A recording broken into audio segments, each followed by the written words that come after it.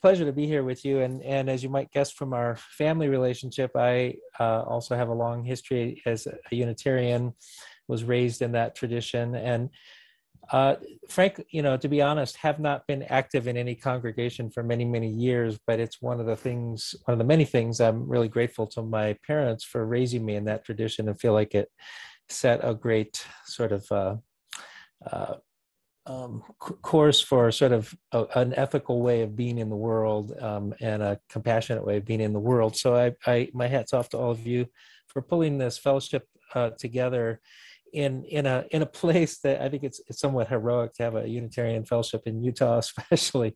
Um, so, uh, and I've heard a bit about it from Ann and Chris. So um, it's great to be here with you this morning. And um, so what I'm going to do is, so a lot of my my life work and professional work has been about sort of trying to revitalize a practice of natural history, which I'll tell you a little bit more about what what I mean by that. I'm sure you're all familiar with the term, but but I specifically this morning want to highlight some of the ways that I think it it dovetails very nicely with some of the kind of intentions of a of a um, uh, practice such as Unitarian Universalism uh, tries to foster in the world of compassion, respect for the rest of the world, mindfulness, uh, and and and I would even you know use the word you know a spiritual practice in the best sense of of of that term. So. Um, I'm just going to run you through some different ideas and and um, some images here, and start by saying that the whole talk will be sort of underlain by a couple of assumptions.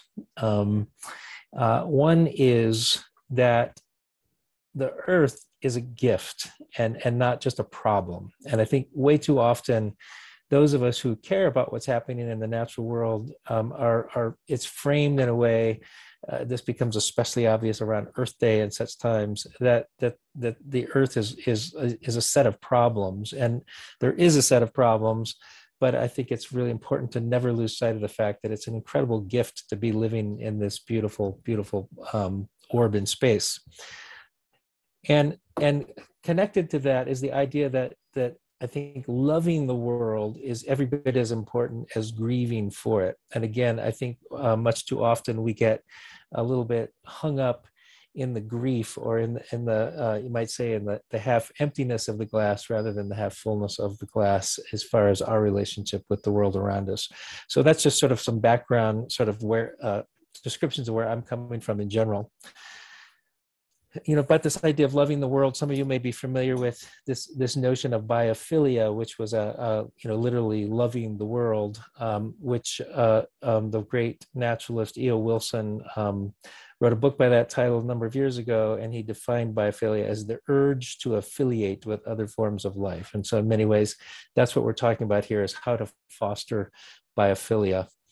Um, and so, again, the, the basic idea is uh, here is that that it it really matters to love the world, and so uh, to the extent that you um, can uh, will buy that, then the um, uh, uh, the question quickly arises and is what what fosters love of the world? If it if loving the world is a good and is good for for both ourselves and the world then what is what kind of things foster that love?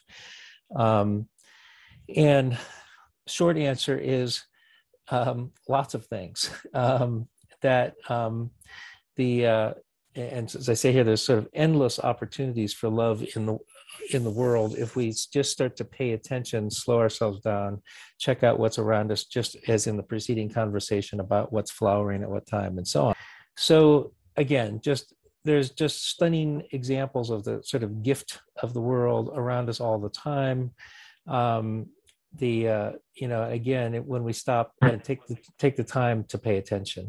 Um, this is this is the uh, marine iguana in the Galapagos that we were just talking about a minute ago. Um, uh, there's one particular island has has these particularly colorful individuals of the species. But you don't have to go down there. This this image right here was taken not too far from where you all live in southern Utah, actually. Um, and again, sometimes it's just a matter of getting ourselves out, and then we're um, can be dazzled by by just um, singular gifts from the world, such as this moment um, and just happened to be in the right place at the right time. and it isn't just organisms that that can inspire us like this, but but places and landscapes as well. Many of which um, people were talking about as as we were hanging out before we just started. A lot of times we connect with these kind of places in groups collectively. It's it's becomes it's a it's sort of a collective spirited sort of encounter, and then oftentimes, uh, of course, by ourselves as well. Um, and that's you might say is true for the uh, the critters themselves living in the world. Sometimes it's collective, and sometimes it's solitary. So I've taken. Um, I'll, I'll, give you a couple more formal definitions of natural history in just a moment, but but I've sort of uh, colloquially taken to to defining it this way as as the practice of falling in love with the world um, and that that's really in many ways the point of of attentiveness to the world is to help ourselves be in love with the world these are my my own two children long ago um, a colleague of mine uh, coined this term sympathetic observation, which I think is a good one. And in many ways, natural history is a practice of sympathetic observation. Um, and um, but more formally what do we mean by natural history and uh, again i'm sure if we had if we were sitting in a circle together uh, in person i would uh, go around and ask everybody what their what their previous impressions of the term were but um, i'll just go through a couple things so so first of all the word the word the term natural history was coined about 2000 years ago in latin historia naturalis and um, one of the interesting things is that in Latin, as in contemporary Spanish, the word historia has two different meanings.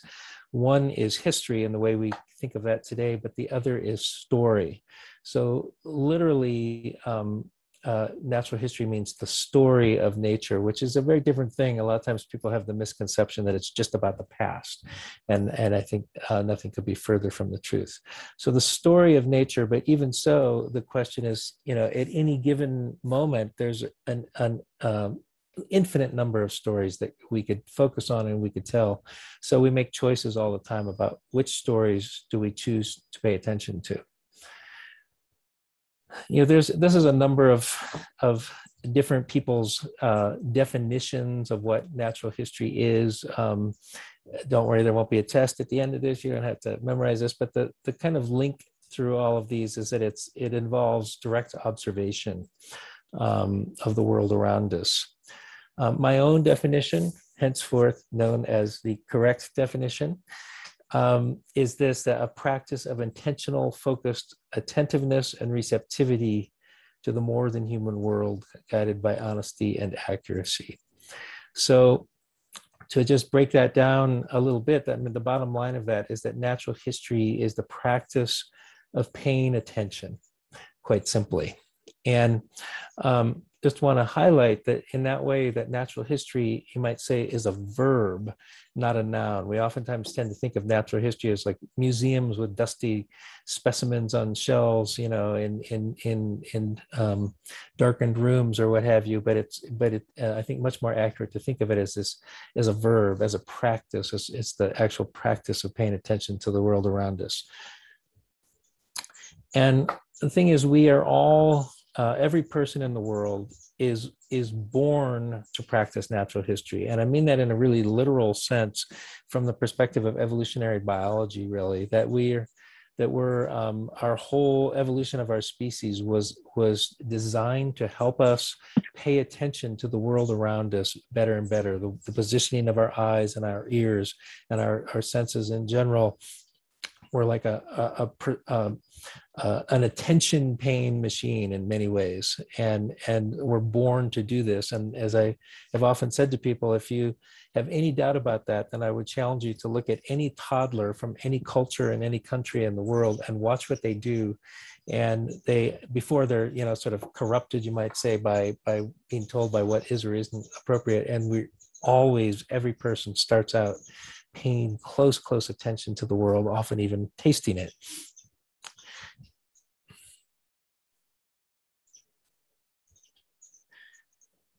And so we talked a little bit earlier about love, and one thing I've been sort of trying to reclaim a little bit, and and and in the scientific circles in which uh, I have often traveled, um, love is a word that uh, a lot of scientists get pretty pretty squeamish about using, um, but I think it's actually important that we sort of um, are honest and, and reclaim that that that loving again the world, as I said earlier, is a good and important thing. And and a couple perspectives on that. This is uh, this quote here. Um, attention is the most basic form of love is from john Tarrant, a buddhist psychologist who some of you might be aware of um, and um, and from a completely different perspective the poet and novelist marge piercy said almost exactly the same thing attention is love. Um, so and along those lines um, i mentioned the term mindfulness before. I think natural history and i, I actually wrote a whole essay about this a while back um, that that natural history is a practice of mindfulness. Um, or as i say here that natural history and mindfulness are two surfaces of the same leaf a seamless merging of attentiveness outward and inward. So the the uh, uh, and a psychologist friend of mine once said that that psychology is simply natural history focused inward instead of outward. So again a practice of attentiveness a practice of paying attention. So the history of natural history kind of interesting. So so um, i mentioned that that the term itself was about 2000 years old and that it was coined by by someone i think that you um, probably all have heard of at least pliny the elder who lived in the uh, decades immediately um, after the time of christ um, and he assembled um, this set of uh, volumes called historia naturalis which was happened to be also the first ever encyclopedia. It was the first time anyone ever attempted to put down in writing everything that humans knew about virtually everything, a multi-volume thing. And some of it, there's still a Penguin uh, edition of of like in one volume of some of the highlights from that and some of it is quite prescient even then but that's again where the term came from. So first century ad but you can you can delve further back in time and I, I, think aristotle for example who's known as a for many many things but uh, i think it would be fair to call him a um, a great practitioner of natural history as well. So that's a few centuries earlier.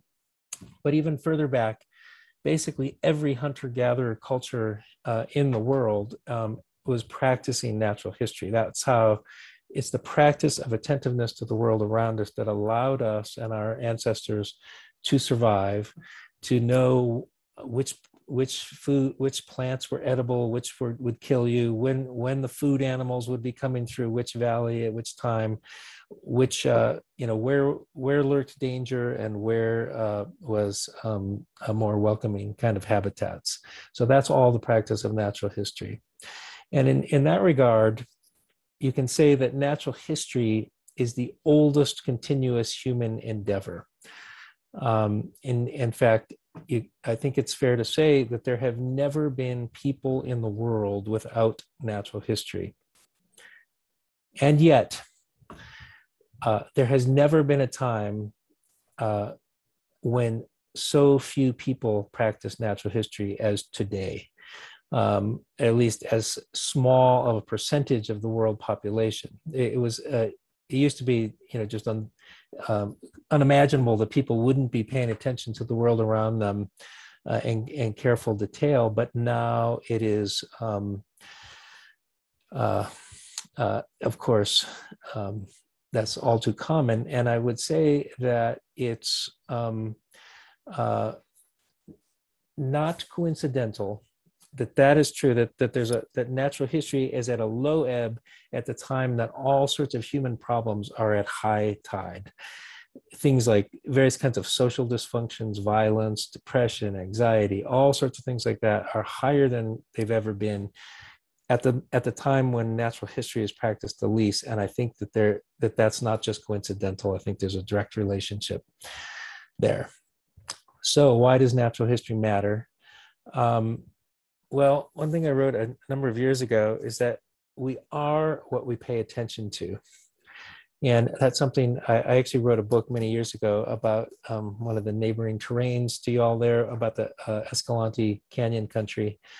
And uh, that's where this is from. And I kind of wrote this in a, in a, in a you know offhandedly at first and then the more i thought about it i felt like well that is like really really true and i've considered it a lot in the in the many years since i originally wrote that so but i think we we are what we pay attention to. Our consciousness becomes what we choose to focus it on. And so what do we choose to focus it on? So much of the world uh, these days is focused on things like celebrity culture and and um, uh, you know the most superficiality that we can conjure up. Um, and of course, more and more and more these days, our attention is taken to the two-dimensional surfaces of things like cell phones and computer screens and and you know i'm as guilty as as the next person of spending too much of my life uh, i mean we're all looking at a at a computer screen or a phone right now. And um, so they have great uh, great value in many ways but i think they they are a danger as well in that they they're an invitation in many ways to tune out the rest of the world that's beyond that screen i also have a friend who is a is an eco psychologist and a visual psychologist and and she's written about how the actual the two dimensionality of a screen it actually literally changes our perception of what we can perceive. Like the brain changes based on what we choose to perceive and it's if it's always the same distance from our eyes and if it's always two dimensional rather than three dimensional over time we see we literally perceive less and less of the world. So that is a great concern um, whereas natural history um, inherently gets us shifting scales looking close looking far um, and I should add the good news uh, involved in that is that it's equally true that um, there's a lot of plasticity in that in that physiology that I just described. And so if we start refocusing in different kinds of ways that natural history helps us do, the, the brain can adapt to that and we see more again. So of course, any uh, given you know time and place we we can there's lots of other things besides what's on our screens or on our you know um, celebrity culture tabloids that we can pay attention to that, that gives us a different perspective of what the world is. Um, lists as the colorado river in the bottom of the grand canyon or the details up close um, of a saguaro cactus or you know or or or so many beautiful things um, that we can pay attention to some lasting only for a moment like this here.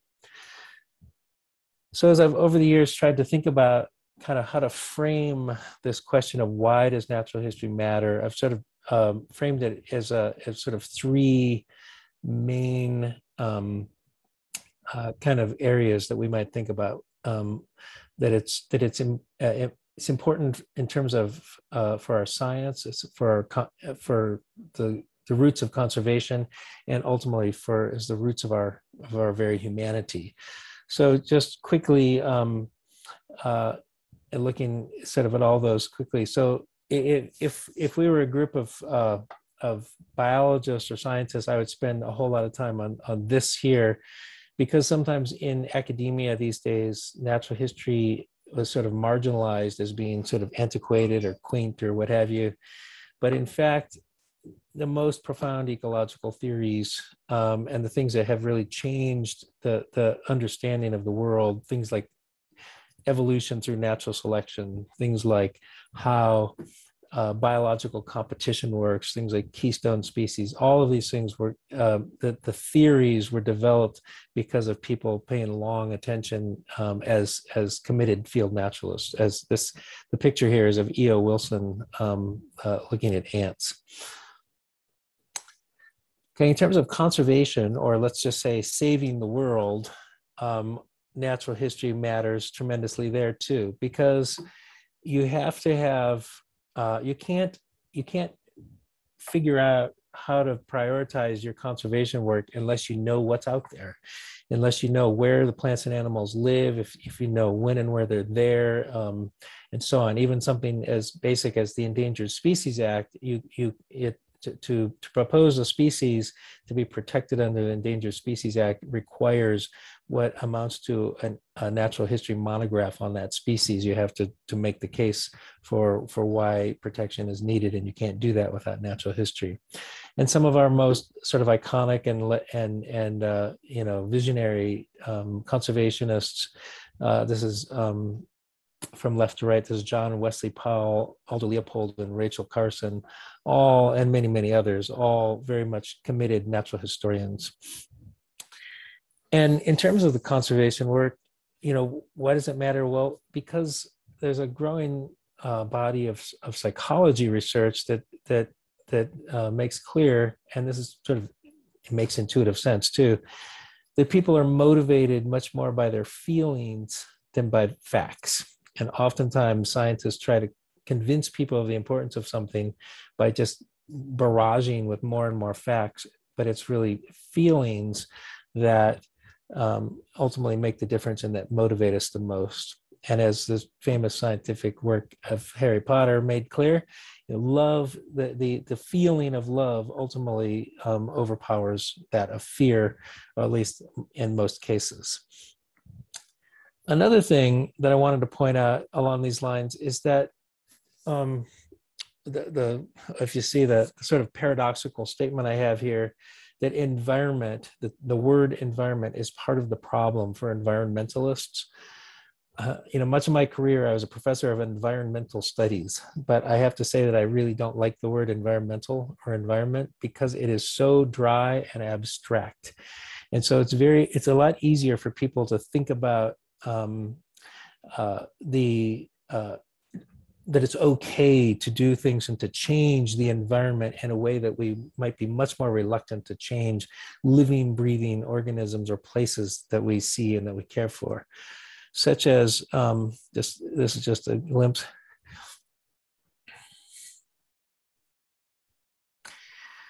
So you might say that natural history is the solution to this problem. It reanimates the world um, in by by by bringing uh, into motion, into clarity, into into you might even say, uh, sort of um, making. Oops. Um, uh, it, it, sort of it just makes the world come alive in a way that that that is much more uh, encouraging for us to take care of it and that we are part of it. So, natural history is, I would say, also offers a sort of basis for moral behavior or ethical behavior. Um, I'm, I'm sure many of you are familiar with Aldo Leopold, the, the great naturalist writer of the first half of the 20th century, and his, um, his famous book, The Sand County Almanac, um, among others. But in that book, probably the most probably the most um, influential single article ever written about environmental ethics was his piece called The Land Ethic. And, and these two sentences here is the land ethic when you when all is said and done. A thing is right when it tends to preserve the integrity, stability, and beauty of the biotic community. It is wrong when it tends otherwise. And I love the clarity of that. It's right and it's wrong. But he goes on in that same essay to say something else which is that we can be ethical only in relation to something we can see, feel, understand, love, or otherwise have faith in. And I really think that natural history is what provides that for us in a way that that seeing those dolphins that you just saw promoted a very strong feeling, sense of love, um, you know, something to have faith in and something to care for in a way that some abstract models of quote unquote environment could never do. So I wanted to bring this in, you know, uh, since um, we're all Unitarian Universalists on this bus. Um, I it, it this uh, I, I, went back and looked at the at the the sort of formal um, principles of of the tradition um, as they're currently articulated. And the seventh UU principle really jumped out at me respect for the interdependent web of all existence of which we are a part.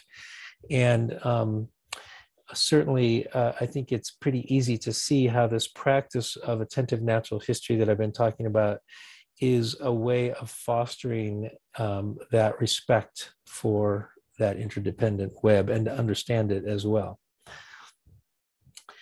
And along the um, uh, the line, those same lines, is is that it it develops a sense of kinship. Um, uh, and this is just something I wrote recently um, that that the sense of kinship is a natural byproduct of our evolutionary heritage that I mentioned before about paying attention. Um, and this is, by the way, is from there's a you might be interested in this project, something called the Kinship Project, which comes out of um, a, a, neat organization called the Center for Humans and Nature, which is based near Chicago, and they just they just released a. Uh, uh, a, a, set of five vol- small volumes of, different people sharing ideas about kinship um, that I think you might find of interest. That's what this is from. So, a number of years ago, you know, I, I taught, um, uh, you know, undergraduates natural history and the general public in some cases as well for many, many years, for about three decades or more. And um, I started um, one year just asking students. I, I, every spring for many years, I taught a, a, sort of foundational natural history field course. And on the last day of the class, um, sitting in a beautiful canyon, I asked students, you know, what, um, how had this affected them? And I just started taking notes on that, and then did that a bunch of years uh, and sort of sort of gathering social data, you might say, about how the practice of natural history was affecting people's lives. And these are some of the things that I came uh, that that sort of reverberated again and again. And I'll go through some of these here. So humility, I think, is a huge one. That that natural history, the more we learn about the world around us, the more um, the more humble we become. And of course, if we're if we're on a sandbar in Alaska and see fresh grizzly tracks like we see here, humility is is pretty uh, uh, not a choice. It just happens. Um, but um, and it happens in many other ways. Like one day with my students, I was out in the Gulf of California, and suddenly we were surrounded by a pod of orcas, um, which um, one of the most profound um, days of my life. Actually, they were with us for about four hours, and one of the individuals was about the size of our boat. Um, so we were very vulnerable, and it was a, a became a, a, moment of communion with another species. But again, humility. Uh, the day was infused by humility, um, and um, or this here. Um, the person in the center there is a good friend of mine who happens to be a sort of world famous herpetologist, and he's in Africa here, South Africa, with a python. Of course, my I think most of our reaction, including mine, when you see a gigantic snake like this, would not be to crouch in is clo- closer and closer. But anyway, for herpetologists, that's what you do. And um, but again, humility uh, in the face of these great presences, and of course, given the politics of our time and just the social world of our time, you know, humility is something much too often in short supply. And so um, infusing more humility in and of itself could go a long way towards towards um, social change. And of course, it can be. It doesn't just have to be big, fancy um, animals. It's just places like this, not too far from you, um, that can can uh, just reverberate a sense of of timelessness or um, moments where you hear suddenly in the in the mist in Alaska hear this of a humpback whale.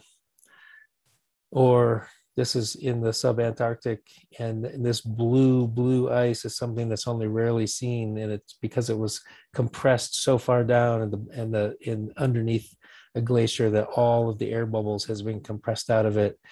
And and suddenly you know every once in a while one gets released. So natural history then inspires us. And and inspire remember literally means to breathe in. And so natural history helps us you might say breathe in the world around us and one thing I think that I, it's always been so striking to me, having been around people doing this for so long, is that it engenders joy.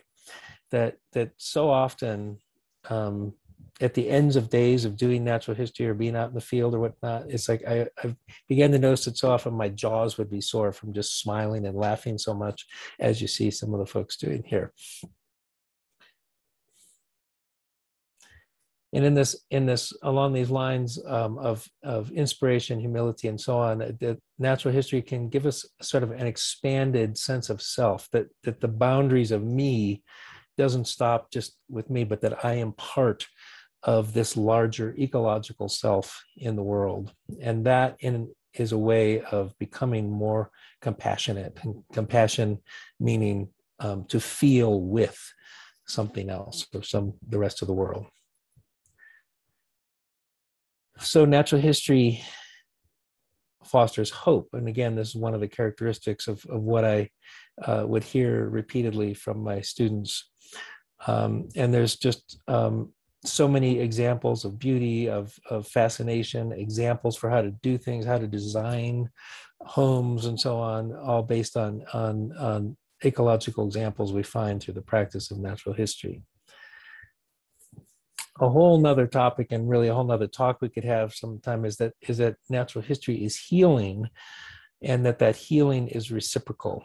Um, uh, uh, just before the pandemic my organization the natural history institute hosted a, a national conference um, in sedona arizona um, called reciprocal healing and um, bringing together health practitioners and naturalists and and many other people.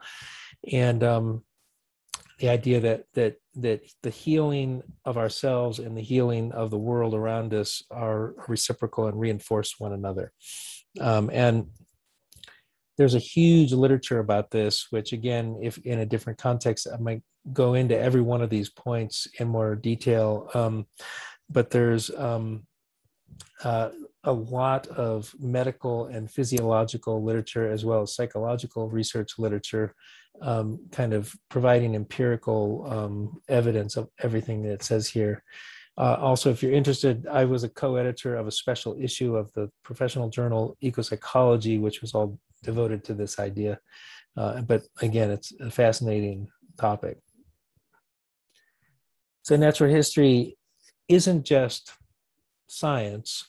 Um, it it involves the arts and the humanities and the sciences all kind of in an integrated whole and um, and Pattiann Rogers is a wonderful poet, um, and I love this that she said long ago: "Without artistic expression, any fact remains alien, uh, with no reverberations in the soul." Or as Rachel Carson said when she was awarded the National Book Award, um, for her wonderful book, The Sea Around Us. She said, No one could write truthfully about the sea and leave out the poetry. So, some of you may be uh, familiar with Barry Lopez, wonderful writer who just passed away just over a year ago. Um, and he, among his many wonderful books, was a was a um, a book that was ostensibly for children, um, but um, called Crow and Weasel. It was a fable, and in that one of the characters in that story said this was sometimes a person needs a story more than food to stay alive. And again the the tradition of storytelling and the importance of storytelling and story cultures throughout cultures in all times and places is well documented.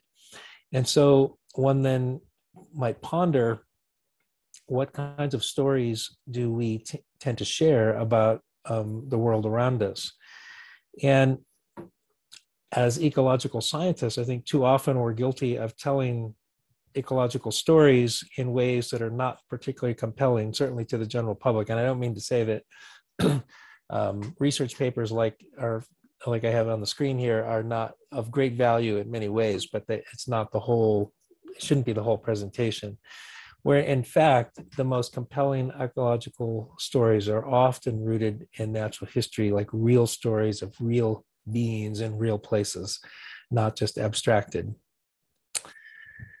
Okay, so I thought I would just end with sharing um, a short little reading, um, and um, then we can um, have discussion if if there's interest in that